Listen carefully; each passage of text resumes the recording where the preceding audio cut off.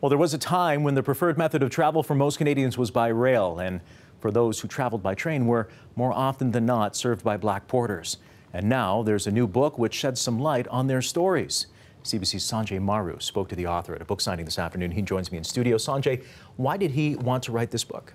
Well, Arms, the book is called They Call Me George, the untold story of black train porters and the birth of modern Canada. And as the name suggests, it chronicles the trials and tribulations of these porters. These are people who would spend long hours, sometimes getting three hours of sleep in a 24-hour journey, hauling luggage, folding down beds, shining shoes, and serving passengers. Now, it's a history not often explored in Canadian classrooms, overshadowed by that of the Underground Railroad, rather than the people who worked on those trains. And when I spoke to the book's author, Cecil Foster, he said the story of Canada tends to focus on English and French people, but that's not what it should be about.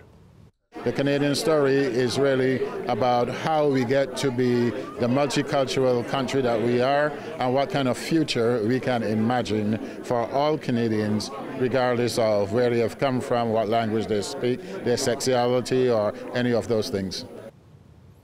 Now, part of why these porters are so crucial to the birth of modern Canada, he says, is because of their influence on federal multicultural policy.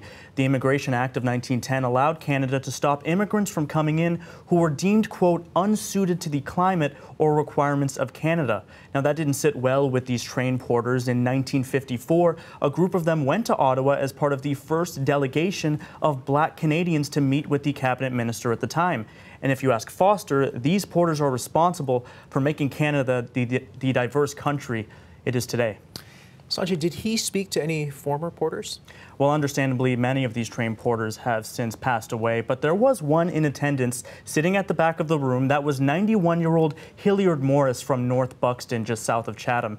He became train porter back in 1946 and says the color of their skin stopped many from being promoted, but not him. He was eventually promoted to the train's conductor. Take a listen as he recalls those days.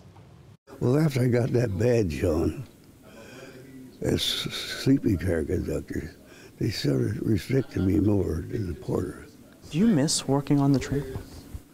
I did for a long while. I still dream about it a bit.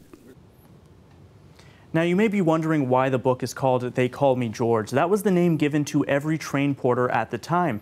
They were named that after train designer and manufacturer George Pullman. He was the man who hired these porters at a time when slaves were named after their owners. Arms. Thank you, Sanjay. Thank you.